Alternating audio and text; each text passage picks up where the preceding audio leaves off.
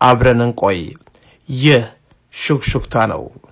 የሰባት ዓመት ልጅ እያለሁ እንዲህ ከፊታችሁ እንደምቆም የምታውቅና ይህንን ሩቅ ጥልቅና ረቂቅ ራዕይ በውስጤ የተከለች ያሳደገች ለፍሬ ያበቃች አንዲት ኢትዮጵያዊ እናት እንዳመሰግን በትህትና እጠይቃለሁ።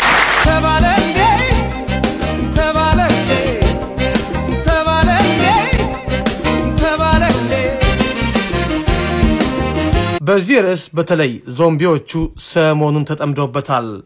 የቅርብ ሰዎች በጉዳዩ ሹክ ያሉ ነገር አለ። ጠቅላይ ሚኒስትር አብይ አህመድ በሲመተ ስልጣናቸው ወቅት ውድ እናታቸውንና ውድ ባለቤታቸውን በስም ጠርተው ሲያመሰግኑ ወላጅ አባታቸውን ግን አላነሱም። ይህች ጉዳይ በጎን ሳይሆን እንከኑን ብቻ እንደ ሰበዝ እየመዘዙ ለሚተቹ ወገኖች እንደ መሳሪያ ያገለገለች ይመስላል። የሰው ልጅ ሁሉ ፍጹም አይደለም ከሚለው ብሂል ተነስቶ ይህንን ትችት መሞገት ባይዳግትም ዶክተር አብይ ግን አባታቸውን ያላመሰገኑበት በቂ ምክንያት አላቸው። እናቴ ከሌሎች ቅን የዋህና ጎበዝ ኢትዮጵያውያን እንደ አንዶቹ የምትቆጠር ናት። ቁሳዊ ሀብትም ዓለማዊ እውቀትም የላትም። በእናቴ ውስጥ ሁሉንም የኢትዮጵያ እናቶች ዋጋና ምስጋና እንደ መስጠት በመቁጠር ዛሬ በሕይወት ከአጠገቤ ባትኖርም ውዷ እናቴ ምስጋናዬ ከአጸደ ነፍስ ይደርሳት ዘንድ በብዙ ክብር ላመሰግናት እወዳለሁ። እማ እናቴ ኑሪ ኩራቴ ጉዳዩን ከእምነት ጋር እያገናኙ የሚናገሩ ሰዎችም አሉ። ከንግግራቸው ውስጥ እንከን ሲያጡ ይህችን ጉዳይ ብቻ መዘው አወጧት እንጂ ነገሩ ወዲያ ነው። ምንም ምክንያት ሳይኖራቸው ባያመሰግኑስ? ይህ መብት ነው ወይስ ግዴታ? በዚያች ውስን ሰዓት ውስጥ የዘር ማንዘሮቻቸውን ስም ፓርላማ ላይ መደርደር ነበረባቸውን? ዘመኑ የኢንፎርሜሽን ነውና ሁሉም እየተነሳ ይፎክራል። ሁሉም አዋቂ ሆኗል። ሁሉም እየተነሳ ቃላት ይሰነጥቃል። ስድብና ውግዘት የእውቀት መለኪያ ይመስል ማህበራዊ ድረገጾች ሁሉ ኃላፊነት በጎደለው ጸያፍ ነገሮች መሞላታቸው ግን የሚያሳዝን ቢሆንም ከዚህ ጨዋታ ጀርባ ማን እንዳለ ግልጽ ነው።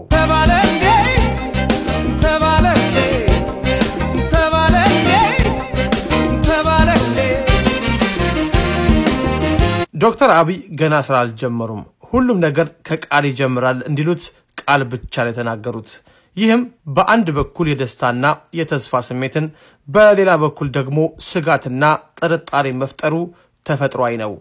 በዚህ የተስፋ ቃል የጥላቻና የንዴት ስሜት ሊመነጭ የሚችለው ግን ከክፋትና ከምቀኝነት ጋር ይመሳሰላል። ሙስናና ዘረኝነት ላይ ለመዝመት ሲነሳ የሙስና ነገስታት መንጫጫታቸው የግድ ነው። ዶክተር አብይ ገና በርካታ ያልተነገሩ እውነቶች ስላሏቸው ከትችቱ በፊት እነዚያን ነገሮች መፈተሹ ተገቢ ይሆናል። እርግጥ ነው እኚህ ሰው ከሙስሊምና ከክርስቲያን ቤተሰብ ይወለዳሉ። እንደ አብዛኛው ኢትዮጵያዊ ቅይጥ ናቸው። ይህን ደግሞ ፈልገው ሳይሆን በአጋጣሚ የሆነ ነገር ነው። በዶክተር አብይ የእምነትና የዘር ነቆራ ስፍራ የላቸውም። ይልቁንም ነፃነትን ሲናፍቁ የኖሩ ናቸው። ማንነታቸው የታነጸው ደግሞ በወላጅ እናታቸው ፍቅር፣ ምክርና ተስፋ ላይ ነበር።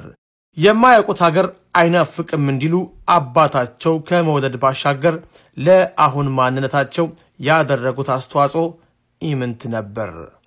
እስኪ ለደቂቃ ትንፋሽ ሳብ እናደርግና ነገሮችን በህሊና መነጽር እንመልከት። ወላጅ ናት እኮ ፍጹም በመንፈሷ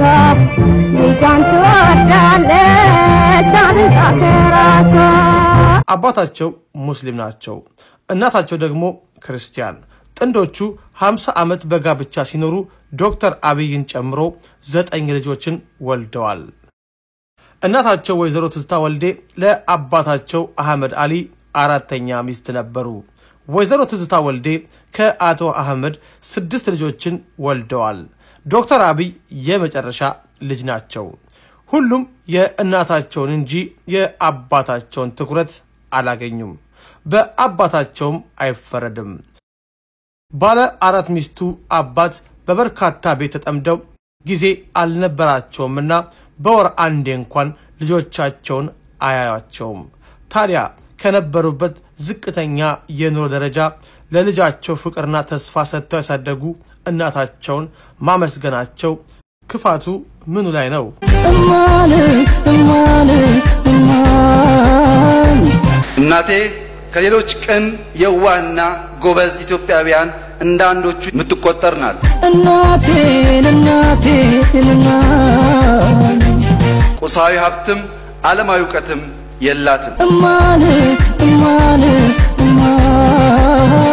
ለመጠራቱም ሆነ ላለመመስገኑ ምክንያት አባታቸው አራት ሚስት ስላገቡ ይመስላል። እንደ ማንኛውም ዘመናዊ ወጣት ዶክተር አብይ በዚህ ነገር ምቾት አይሰማቸውም። የሚኮሩት በዚህ ሳይሆን ይልቁንም ተቸግረው ባስተማሩ እናታቸው ነው።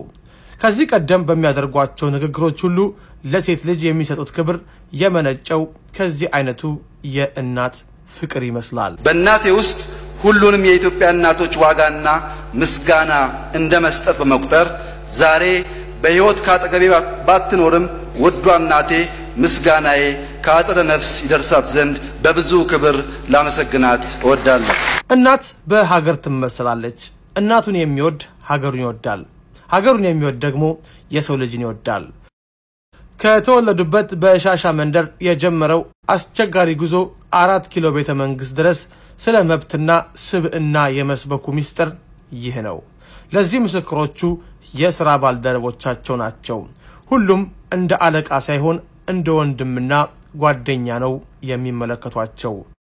ወላጅ አባታቸውን ፓርላማ ውስጥ በስም ጠርተው ያለማመስገናቸው ደግሞ በየትኛውም ስሌት ጥላቻን ወይንም ያለማክበርን አያመለክትም። በጠቅላይ ሚኒስትሩ ላይ የተጀመረው ዘመቻ ግን እንደቀጠለ ነው። ተቃውሞው ከተቀናቃኝ ፓርቲዎች አይደለም፣ ከህዝብም ድጋፍ እንጂ ተቃውሞ አይሰማም። ዞምቢዎቹ ግን እንቅልፍ አልተኙም።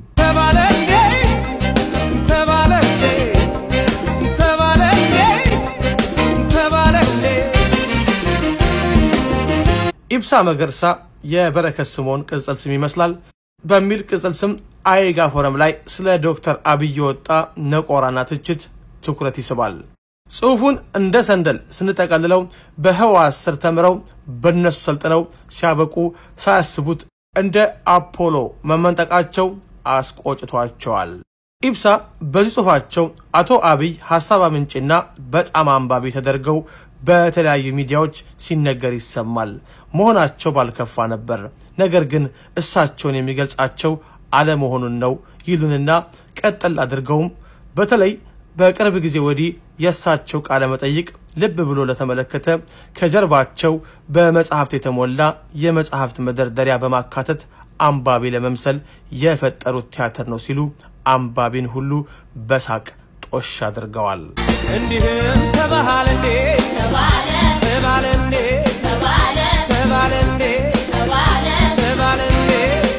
ግራም ነፈሰ ቀኝ ሰው ያልበላውን አይተፋም፣ የሌለውን አይሰጥም። ማንበባቸው ማገናዘባቸውና ማወቃቸው የሚለካው በሚናገሩት ምሁራዊ ቃናና በሚሰሩት ድርጊት እንጂ ህወሓት ስለመሰከረባቸው አይደለም።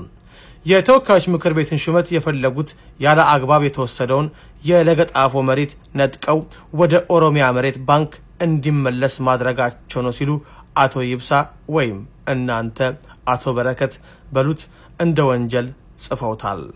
ጸሐፊው የዶክተር አብይ ኃጢአቶች ብለው የዘረዘሯቸውን ሌሎች በርካታ ምሳሌዎችን አንስተዋል። ሁሉም ድርጊት የሆነው ለግል ሳይሆን ለህዝብ ጥቅም መሆኑን ግን ለአፍታም የዘነጉት ነው የሚመስለው። ስልጣናቸውን ለተበደለ ህዝብ ጥቅም ማዋላቸው በህወሓት አይን ወንጀል ቢሆንም ህዝብ ግን እውነትም ኢትዮጵያ አሁን ገና መሪ አገኘች ይላል። ተባለ እንዴ ተባለ እንዴ ተባለ እንዴ ተባለ እንዴ የአስቸኳይ ጊዜ አዋጁን ለማጽደቅ በፓርላማ በተጠራው ስብሰባ ያለመገኘታቸው የህዝባቸው የሰላም እጦት ወደ ጎን ትተዋል ሲሉ ይከሳቸዋል። የአይጋው ኢብሳ መገርሳ ወይም በረከት ስምዖን ሁለት የመቀሌ ነዋሪዎች በዶክተር አብይ የኢህአዴግ ሊቀመንበርነት ምርጫ ላይ ለአሜሪካ ድምፅ ራዲዮ የሰጡት አስተያየት ከሌላው ወገን ሁሉ የተለየ መሆኑ ለህወሓቶች ጥላቻ ሌላው ማስረጃ ነው። እነዚህ የሙስና ሰዎች ገና ብዙ ድንጋይ ይፈነቅላሉ። ምክንያቱም የህሊናቸው መሰረት የሆነው ዘረኝነት፣ መከፋፈልና ሙስና አከርካሪው ሊመታ ነው። ይህ ጉዳይ እንቅልፍ ይነሳቸዋል። ዶክተር አብይ አባታቸውን በፓርላማ ያለማመስገናቸው ጥያቄ እንደ መብትም እንደ ግዴታ መታየቱ ውሃ አይቋጥርም። ከእውቀት ማነስ ብቻ የመነጨ ይመስላል። ይህ ሹክሹክታ ነው።